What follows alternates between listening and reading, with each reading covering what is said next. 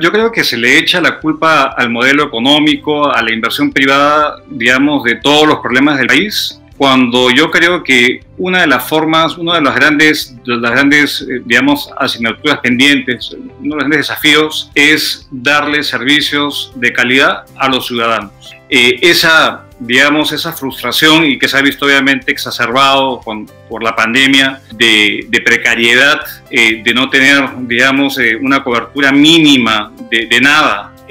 yo creo que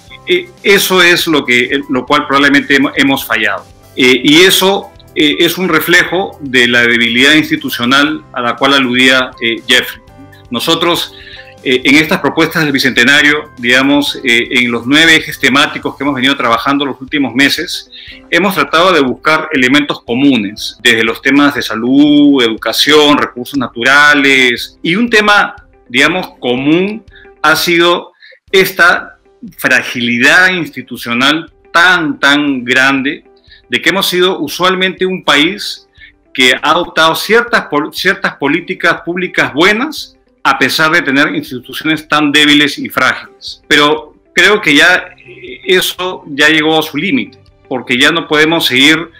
eh, mejorando la calidad de vida de la población con servicios accesibles y de calidad, eh, con, las, con las instituciones tan malas que tenemos no solamente desde el punto de vista, digamos, este, político, sino también las claves.